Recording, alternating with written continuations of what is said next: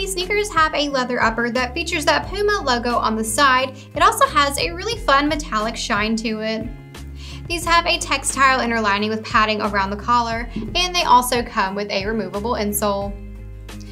They are a lace-up closure, which allows you to get a custom as well as a secure fit.